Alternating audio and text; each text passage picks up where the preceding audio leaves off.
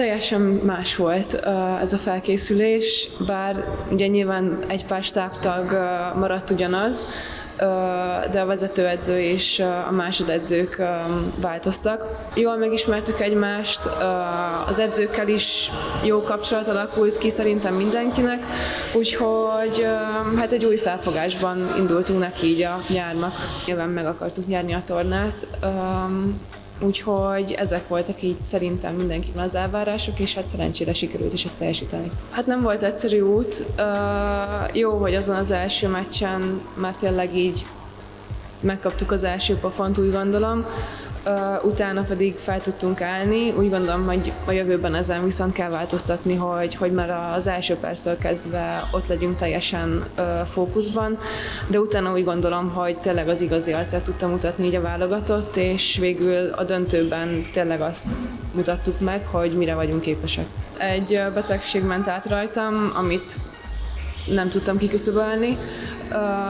Nem így készültem erre a tornára de sajnos ez így alakult, úgyhogy uh, nyilván nagyon csalódott voltam, hogy nem tudtam uh, úgy ott segíteni a csapatnak, ahogy, ahogy akartam, és ahogy szerintem elvárták tőlem.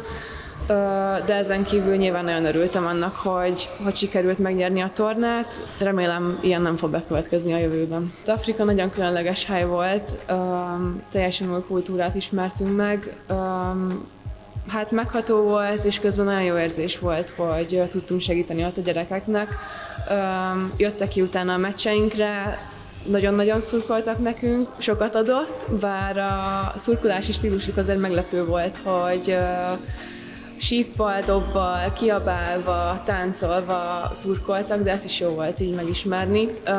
Ezen kívül pedig volt ott egy pár magyar is, akik ugyanúgy szurkoltak, és az is jó volt, hogy, hogy ők kint tudtak lenni. Mennyiben más ott az élet, mint itt mondjuk, amit megszoktunk Európában? Mi volt a legnagyobb különbség, amit mondjuk úgy észrevettél ez alatt a pár nap alatt? Um, nekem a legnagyobb különbség az volt, hogy az ottani emberek mennyire tudnak örülni egy-egy kis dolognak, és hogy tényleg mennyire segítőkészek. Igazából, amit szeretnék így magammal vinni, nyilván én így a felkészülésből tudok egy pár jó dolgot kiemelni, vagyis jó pár dolgot kiemelni, mert sajnos az a, ez a tornán nem sikerült, úgyhogy remélem, hogy ott tudom majd folytatni a válogatottal, ahol a felkészülés végén abba hagytam, és, és onnan erőt meríteni. Hát most a következő cél most egy kicsit távolinak tűnik még a, a válogatott szünet, de nyilván ott szeretnénk uh, teljesíteni, és uh, hát ott úgy gondolom, hogy a kötelezőt uh, hozni, hogy, hogy az Európa-bajnokságra kijutni.